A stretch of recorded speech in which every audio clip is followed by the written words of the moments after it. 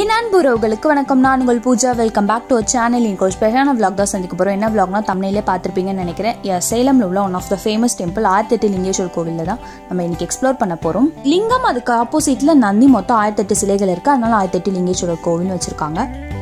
இந்த கோவிலை வந்து மலையில தாங்க கட்டியிருக்காங்க. ரொம்பவே அழகா இருக்கும். மொத்தம் அஞ்சு கோவில் இருக்கு. நம்ம கீழ இருந்து அப்படியே லைனா ஒரு ஒரு கோவிலை பார்த்துட்டே போகலாம் இந்த கோவில் வந்து ரொம்பவே அழகா இருக்குங்க. நீங்க குடும்பத்தோட வந்தீங்கன்னா நல்லா டைம் ஸ்பெண்ட் பண்ணிட்டு போகலாம் நான் ஏன் அப்படி சொல்றேன்னா இந்த கோவில் வந்து இயற்கையோட இணைந்து இருக்கும் நம்ம நம்மளை சுத்தி ஃபுல்லா மலையா தான் இருக்கும். இந்த கோவிலோட ஆர்கிடெக்சர் ரொம்பவே தரமா இருக்குங்க. நீங்க வந்தீங்கன்னா உங்களுக்கு டைம் போறதே தெரியாது.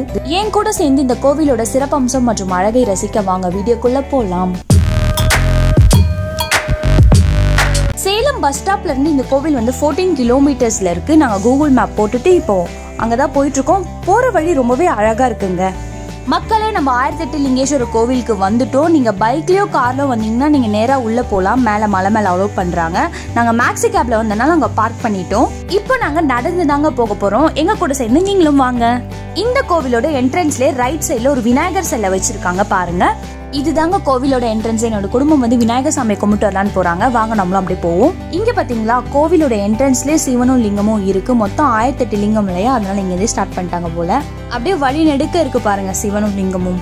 இந்த கோவில் வந்து பைபாஸ்ல இருக்கு பாருங்க. அங்கது பாத்தீங்களா அதுதான் பைபாஸ் சேலம் பைபாஸ் சோ கோவில் ரூட் ரொம்ப கஷ்டம் அப்படின்லாம் சொல்ல முடியாது. ரொம்பவே ஈஸியா வந்துடலாம். மக்களே நாங்க இந்த வழியா நடந்து வந்து ஃபர்ஸ்ட் கோவிலுக்கு வந்திருக்கோம். இது வந்து ஒரு பெருமாள் கோவில். நிறைய சிவலிங்கம் இருந்த மெயின் என்ட்ரன்ஸ் காமிச்சோம் பாத்தீங்களா? அது வழியா தான் நாங்க நடந்து வந்தோம். இதுதான் முதல் கோவில். உங்க எல்லாருக்குமே தெரியும்னு நினைக்கிறேன். கோவிலோட கருவறை நம்ம போட்டோஸும் வீடியோஸும் எடுக்கக்கூடாது. ஸோ என்னாலேயும் எடுக்க முடியல. கோவிலோட வெளிப்புறம் வந்து உங்களுக்கு ரொம்பவே அழகா வீடியோ எடுத்துட்டு வந்திருக்கேன். ஸோ நீங்க பாருங்க. இந்த கோவில்ல வந்து ரொம்பவே அழகான பெருமாள் சிலை இருந்துச்சு. நாங்க உள்ள போய் சாமியை பார்த்துட்டு வந்தோம். நீங்களும் நேர்ல வந்து கண்டிப்பா இந்த சாமியை பாருங்க. இந்த இடம் எதுனா பெருமாள் கோவில் காமிச்ச பாத்தீங்களா? அது பக்கத்துல பார்க்கவே ரொம்ப அழகா இருந்துச்சு. அதான் கேமரா ஆன் பண்ணிட்டேன். நீங்களும் பாருங்க. இந்த கோவில் பார்க்கவே ரொம்பவே வித்தியாசமாவும் அழகாவும் அமைதியாவும் இருந்துச்சுங்க. கோவிலுக்கு நடந்து வரவங்க ஒன்று வெயிலுக்கு முன்னாடி வாங்க இல்லை வெயில் தாழ்ந்துட்ட பிறகு வாங்க. உங்களுக்கு அழகாக நடந்து போக சூப்பராக இருக்கும். வெயிலில் வந்தீங்கன்னா கொஞ்சம் கால்லாம் சுடும் அப்படிலாம் இருக்கு இல்லையா?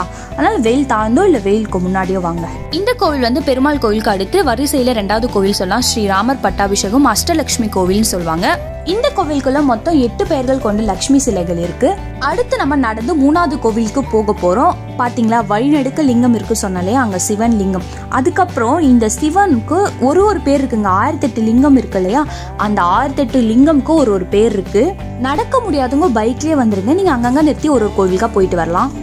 அடுத்து வந்து ஆஞ்சநேயர் சாமிங்க. நாங்க உள்ள போயிட்டு வந்தோம். ரொம்பவே ஹைட்டான ஆஞ்சநேயர் சிலை இருந்துச்சு. இந்த ஆஞ்சநேயர் கோவில் இருந்து அப்படியே ஸ்ட்ரெயிட்டா சிவன் கோவில் இருக்கு. இன்னும் கூட இங்க கன்ஸ்ட்ரக்ஷன் ஒர்க்ஸ் எல்லாம் நடந்துதான் இருக்கு. அங்க பார்த்தீங்கன்னா மலை எவ்வளவு அழகா இருக்கு. உள்ள நடந்து போனோம்னா சிவன் கோவில் இருக்கு. அதுக்காக தான் இங்க கோபுரம் கட்டிட்டு இருக்காங்க. அப்புறம் உங்களுக்கு ஒரு சர்ப்ரைஸ் காட்டுறேன் பாருங்க. அதோ பாருங்க தெரியுதா? யானை. அதை ஃபோட்டோஸ் வீடியோஸ் எடுக்கக்கூடாது சொல்லிட்டாங்க. நான் தூரத்துலேருந்து லைட்டாக உங்களுக்கு காட்டுறேன். பார்த்துக்கோங்க. அந்த யானையோட பேர் வந்து லக்ஷ்மி. அடுத்து நம்ம எங்கே போயிட்டு இருக்கோம்னா சிவன் கோவிலுக்கு தான் போயிட்டு இருக்கோம் இங்கேருந்து அப்படியே ஸ்ட்ரைட்டாக போனால் சிவன் கோவில். இங்கேருந்து அப்படியே சைடில் பாருங்களேன் சீனரி சூப்பராக இருக்குது இது வந்து சிவன் கோவிலுங்க வரிசையில் நாலாவது சொல்லலாம். சிவன் கோவிலோட கொடிமரம் இருக்கு பாருங்க. இங்க வந்து சின்ன கோபுரமா தானே இருக்கு. இந்த சின்ன கோபுரத்துக்கு அப்படியே நேரா கட்டுறாங்க. பெரிய கோபுரமா கட்டிட்டு இருக்காங்க. இந்த கோவிலுக்குள்ளார இருக்க ஐயரை கேட்டப்போ இருபத்தி ரெண்டு அடி உள்ள சிவன் சிலை உள்ள இருக்கு. சிவன் சிலை இருந்தாலே ஆப்போசிட்ல நந்தி சிலை இருக்கும். அதுதான் இந்த நந்தி சிலை பாத்துக்கோங்க இந்த கோவிலுக்கு நீங்க வந்தாலே ஆல்மோஸ்ட் எல்லா சாமியுமே நீங்க பாத்துடலாம் இன்னும் என்னென்ன சா- சிலைகள் இருக்குன்னா பைரவர் சிலை இருக்கு சண்டிகேஸ்வரர் சிலை இருக்கு அதுக்கப்புறம் சரஸ்வதி சிலை இருக்கு. இதெல்லாம் சின்ன சின்ன கோவிலா இருக்குங்க இங்கவே. இந்த பாட்டு மட்டும் கொஞ்சம் பாருங்களேன். ரொம்பவே அழகான மேகம். அதை விட ரொம்பவே அழகான மலை அதுக்கு கீழே சிவன் கோவில். இல்ல சூப்பரா இருக்குல்ல? இந்த கோவிலோட சிறப்பம்சம் என்னன்னா இங்க அறுபடை முருகனோட சிலைகள் வச்சிருக்காங்க. இது வந்து பார்த்தீங்கன்னா சுவாமி மலை. பார்த்தீங்கன்னா பழனி ஸ்ரீ தண்டாயணம் திருச்செந்தூர். இங்கே வந்து பார்த்திங்கன்னா திருப்பரங்குன்றம் சுப்பிரமணிய சுவாமி. ஸோ இங்கே வந்து பார்த்திங்கன்னா இவங்க ஆறு பேரையும் ஒன்றா வச்சுருக்காங்க. அறுபடை வீடு சொல்லுவாங்க. அறுபடை வீடையும் இங்கே ஒன்றா வச்சுருக்காங்க. நாங்கள் மேலே ராஜராஜேஸ்வரி கோயிலுக்கு போகிறோம் அது இங்கே எப்படி இருக்குது பாருங்க. மட்டும் பாருங்கள் இடத்த. செம்மையாக இருக்குல்ல? அதுவும் அங்கே மலை.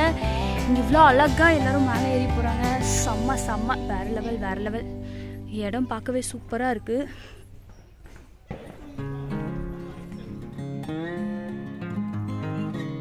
கஷ்டப்பட்டு மேலே ஏறி வந்திருக்கோம். இது வந்து செம்ம ஸ்லோப்பு அப்படியே மேலே ஏறி வரணும்.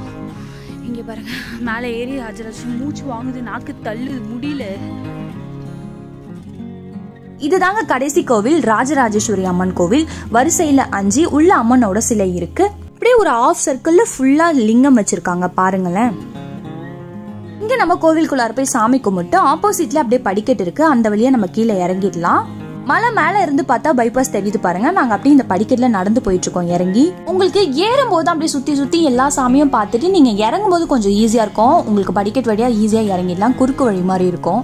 நாங்கள் இந்த படிக்கட்டு வழியாக ஏறல. நாங்கள் அந்த வழியாக தான் ஏறினோம் ஏன்னா இந்த படிக்கட்டு ரொம்ப மிராக்கலாக இருக்குது சரி வேண்டாம் சொல்லிட்டு நாங்கள் இப்படி ஏறினோம் பார்த்தீங்களா நான் உங்களுக்கு அந்த ஆரம்பத்தில் அந்த விநாயகர் சிலை காமிச்சிட்டு அதுக்கப்புறம் உள்ளே போகணும் பார்த்தீங்களா இப்போது அந்த வழியாக அப்படியே அங்கேருந்து படிக்கட்டு இறங்கி இப்படியே வந்துட்டோம்.